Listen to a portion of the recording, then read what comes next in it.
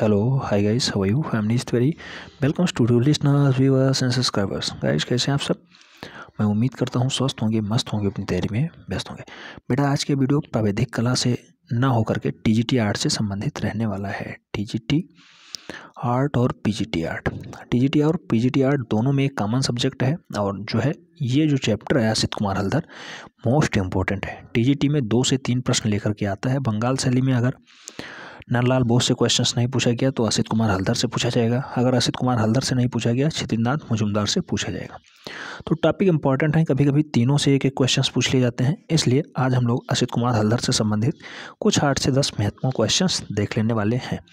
असित कुमार हल्दर का जन्म होता है दस सितंबर अट्ठारह को कोलकाता में। पश्चिम बंगाल की राजधानी है कोलकाता। वर्तमान में मुख्यमंत्री ममता बनर्जी जी हैं। ध्यान रखना है।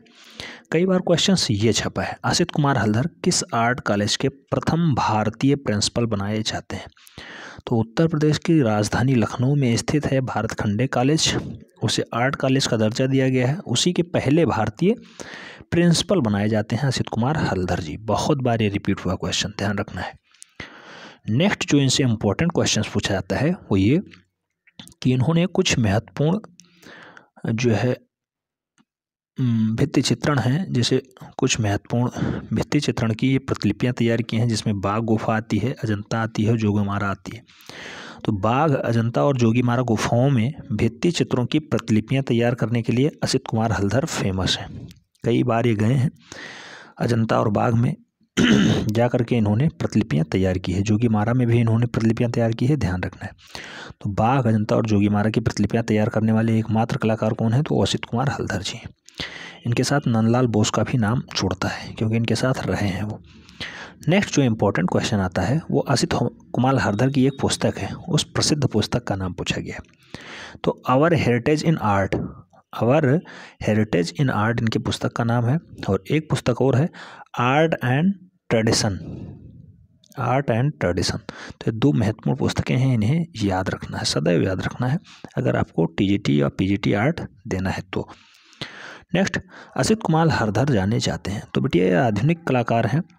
आधुनिक कलाकार के रूप में जाने जाते हैं, क्योंकि आप जानते हैं 1890 से 1890 से उन्नीस सौ चौंसठ तक इनका कार्यकाल रहा है। तो ये आधुनिक लेवल के कलाकार हैं, अच्छे कलाकार हैं और ये लखनऊ में प्रिंसिपल भी रहे हैं, आर्ट कॉलेज लखनऊ के। असित कुमार हरधर के एक फ़ेमस चित्र है, प्रसिद्ध चित्र ध्रुव है 1914 में प्रकाशित होता है और ये एक पुस्तक में प्रकाशित होता है। तो पुस्तक का नाम बताना है तो myths of the Hindus and Buddhist.